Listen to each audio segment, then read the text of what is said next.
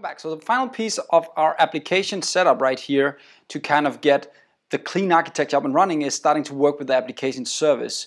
Now to do that, I want to start out by just splitting up my code a little bit more inside this printer class. I just moved the comments over from the main program over here into this guy so I can see the different areas I want.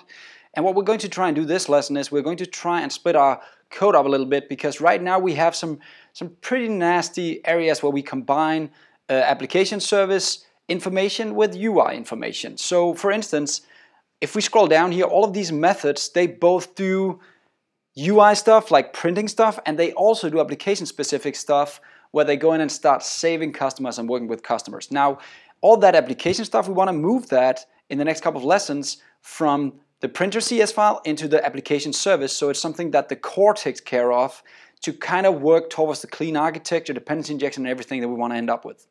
So let's start out right here with the edit customer. Now the edit customer seems fine, right? When you just look at it. But right now we're doing a few things. First, we are finding a customer by ID, but that's actually not only finding adding some text and printing some text, that's actually also going to the repository and actually getting the customer. Let's see what I mean here.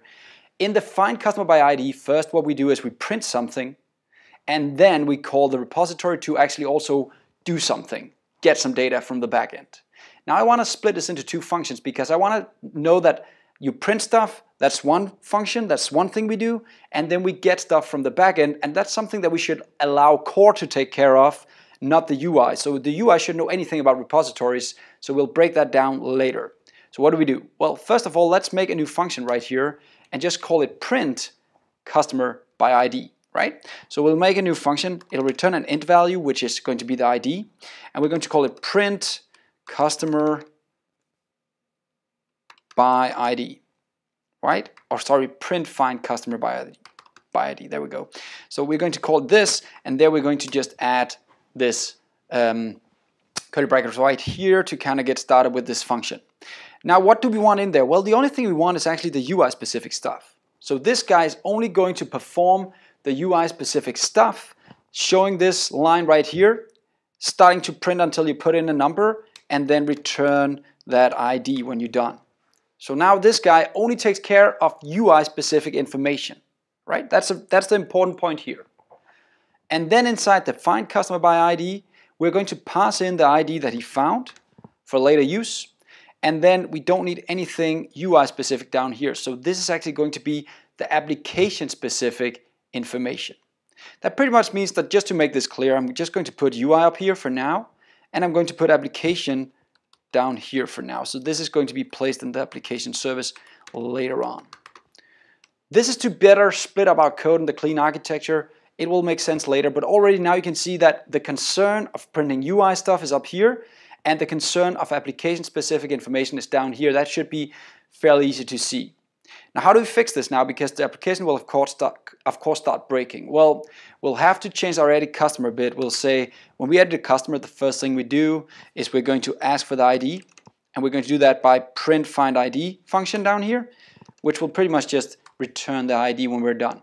And then to find the actual customer, we'll say find customer by ID, and we'll pass in the ID. And there we go. So now we've just broken this into two different functions right here, and later on the application service will take care of this part. Sweet. So this is actually done now.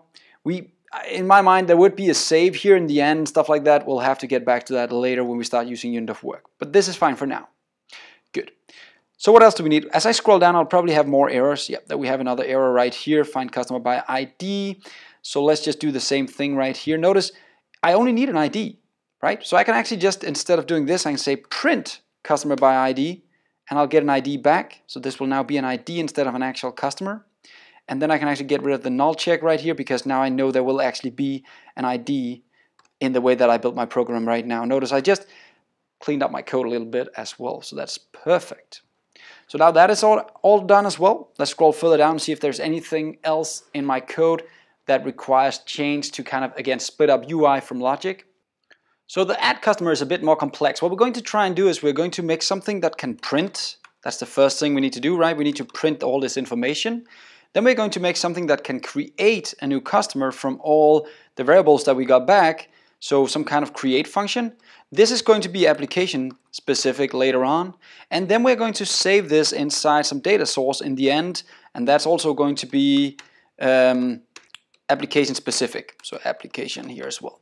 So that's kind of the three functions that I'm going to end up with. Now, you might notice that we're doing this a lot in our application. So why not just make a simple method that can take care of actually console writing and reading a line. So I'll just make um, a string here called get data or ask question. I don't know. Let's call it ask question. Ask question. Yeah, something like that. And what I want in here is pretty much just to be able to send in some kind of string right here. String uh, question. And then I want to kind of do a console write line like this. Poof. And there the question will come in here as a string. Poof.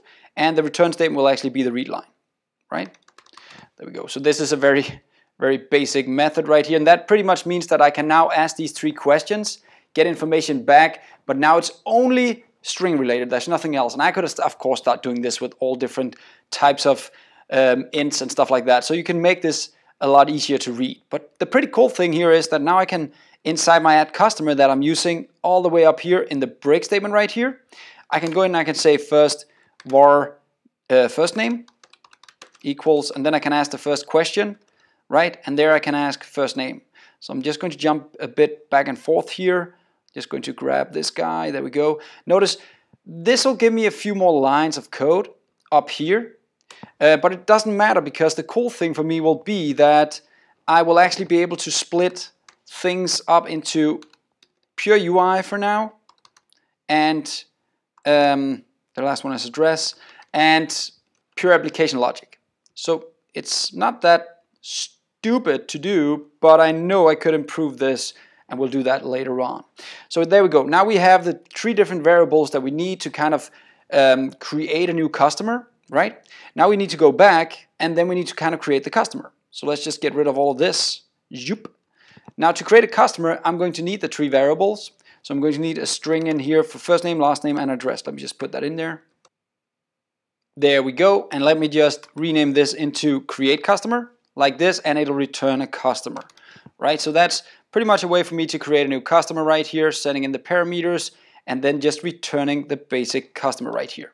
So that's kind of the second part of this. Um, now the last part is of course saving the customer and let's just make a function for that as well right below this. Uh, there we go. So we'll make one called, it'll return the customer when we're done and then we'll just say save customer, right? And there we'll send in a customer that we want to save and then we will kind of just do the repository uh, create customer right here and we can just return this guy because he'll actually return a customer when we're done. so now we split this up into three different methods and um, that might seem strange to do but it's because I'm preparing myself for starting to put this into the application service right? Because that's where I feel this belongs. And the same with this guy. The save customer is also going to be inside the application service. So I'm, I'm starting to break down my code to make it easier to know where things should go. Now to make the code run, I still need to kind of go up here now in my beautiful uh, case 2 right here and say I need to now, of course, get a customer and that's going to be done by creating a customer and now I need to pass in the three different variables first name last name and address. Let's just do that. There we go. And then I just need to kind of save the customer as the final thing right here just to get it that done, right? And then I, whoa, customer. And then I'm kind of done here. Now again, this is pure, this is split up now completely. So now we know exactly what's UI, we know what's, this is UI calls, this is some application calls, and yes, this will be made even simpler later on, but for now, this is a great way to kind of split this up. Let me just quick fix this and actually refactor this guy and rename it. So I right click, rename, and the reason is I don't want an S right there. I just want to create a simple customer. There we go. So now I have to do the same with the delete and the rest of the functions down here. I don't want to bore you guys with that. So let's just end this lesson. I'll clean up the rest of the code and see you next time. Have fun.